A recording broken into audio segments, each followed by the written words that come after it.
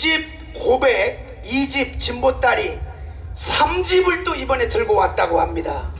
신명나게 살자라는 노래로 전국 무대에서 열심히 만나고 있는 초대 가수 윤청아 씨 소개합니다.